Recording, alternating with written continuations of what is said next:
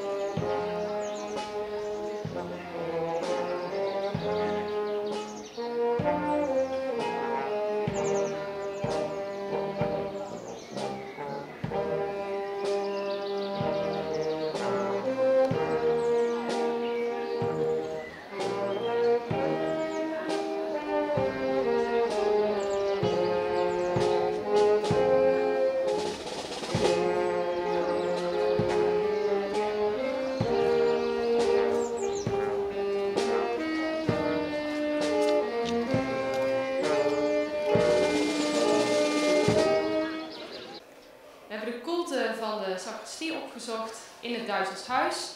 Zojuist hadden we besproken dat de 23e de geboortedag van Johannes de Doper is. Dat wordt in Spanje in de avonden groot gevierd met vuurwerk, maar wij vieren het hier op de 24 juni. Ik zit hier samen met Adriaan Cox, ik ben eerste regerend deken van het Gilde van Sint-Jan Baptist. Ik ben vandaag eh, waarnemend hoofdman. En wat hebben we vandaag tijdens de viering buiten gedaan? We hebben de openluchtmis eh, gevierd. En de openluchtmis is ontstaan eh, uit eh, vroegere jaren dat er in Duitsland nog een processie was. Maar die is in de jaren 60 eh, gestopt. Wat was de reden dat die gestopt is? Dat was gebrek aan belangstelling.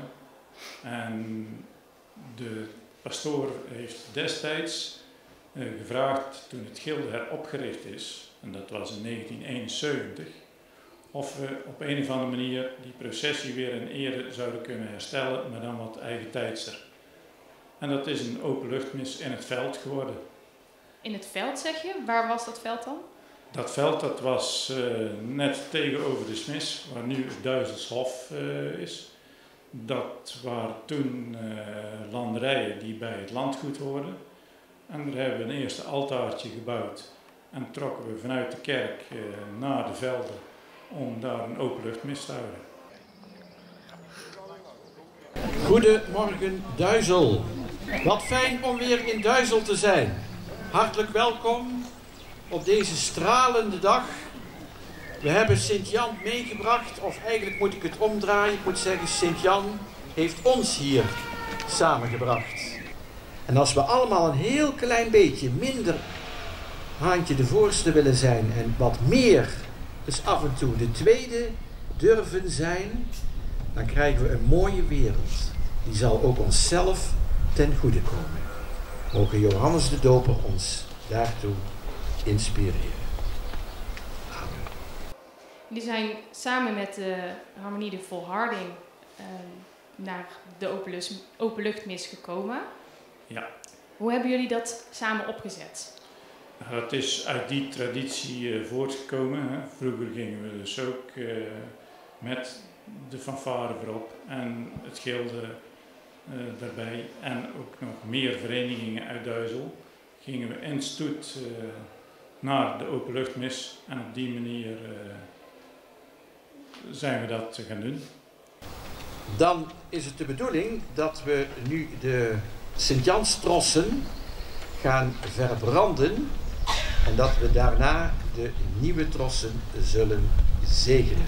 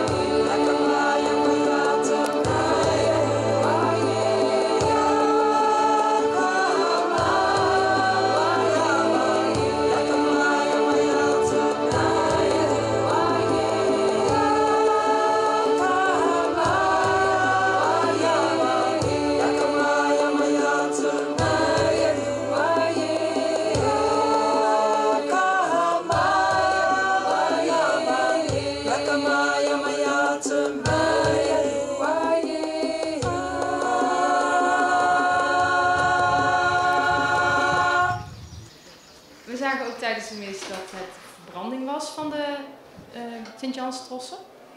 Ja, dat klopt. De trossen die een jaar lang aan de deurpost hebben gehangen, die worden nadien, uh, vooraf dat de anderen worden gewijd, eerst verbrand. En wat is daar de achterliggende gedachte? Nou, de achterliggende gedachte is een beetje dat het onheil uh, wat afgewend is. Uh, dat heeft zijn dienst gedaan en zodoende kun je dat uh, verbranden. Hoe speciaal is het dat wij hier een openluchtmis hebben buiten? Nou, het is natuurlijk wel op meer plaatsen, maar in combinatie met Sint-Jan komt dat niet zo heel veel voor. Maar Sint-Jan trok vroeger ook naar de velden en op die manier is dat gebruik ontstaan. Tijdens de mis werden er bloementrossen, Sint-Janstrossen gezegend. Ja. Wat zit daar allemaal in? Nou, Sint-Janstros is een heel oud gebruik. Dat komt al van uh, rond de tijd uh, dat Sint-Jan uh, de Doper leefde. in de Sint-Janstros zitten geneeskrachtige kruiden, of kruiden die heilzaam werken en die bescherming bieden aan de burger, de bevolking, maar ook aan, aan het huis. Maar wat, wat doen mensen dan met zo'n bloementros? Ja, die tros dat bestaat uit uh, velbloemen. En die tros wordt uh, gezegend in uh, de openluchtmis. En die wordt aan de deurpost gehangen thuis. En waarom en, aan de deurpost? En die zou bescherming bieden tegen bliksem en allerlei onheil. God, ik geloof in uw scheppende kracht,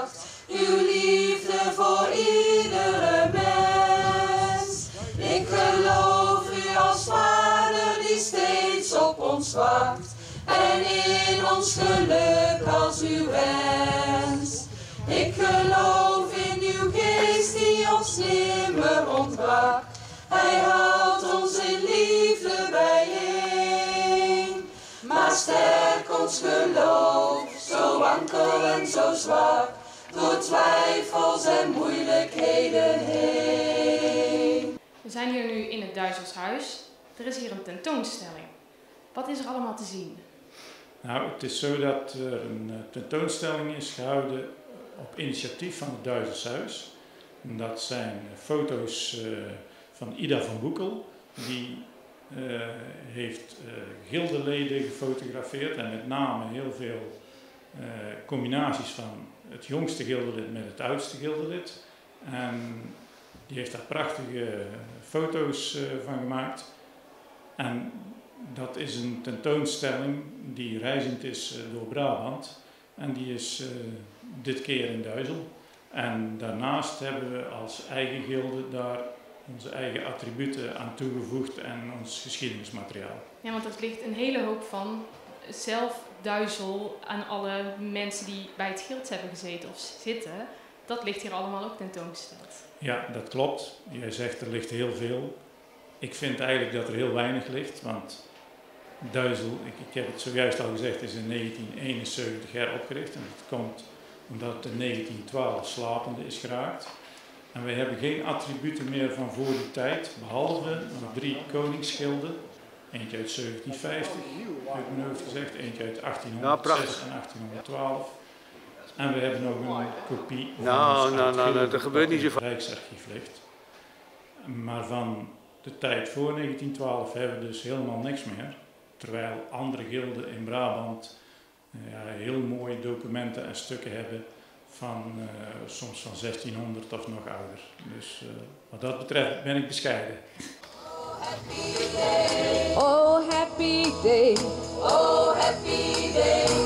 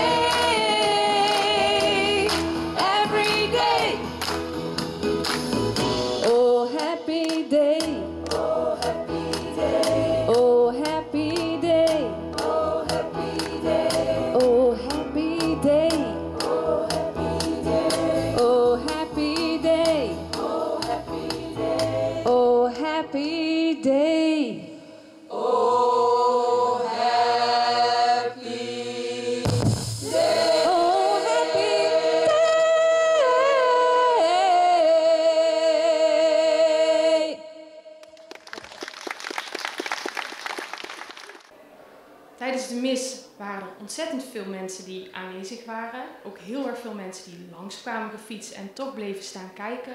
Volop kinderen aanwezig. We hebben volgens mij echt een hele mooie viering gehad. Hoe kijk je er zelf op terug? Ja, ik ben er blij om dat het uh, toch weer opleeft wat dat betreft. Uh, we hadden een paar stoelen te weinig uh, geplaatst, bleek wel. Want er moesten in allerijl nog wat stoelen bijgehaald worden. Dus ik vraag dat we toch met zo'n 150 mensen uh, daarvan hebben genoten.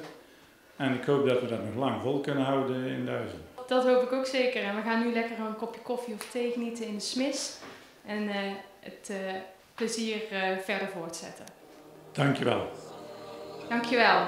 Het is feest. We gaan het nog voortzetten in de smis met een kop koffie, thee en een lekker stukje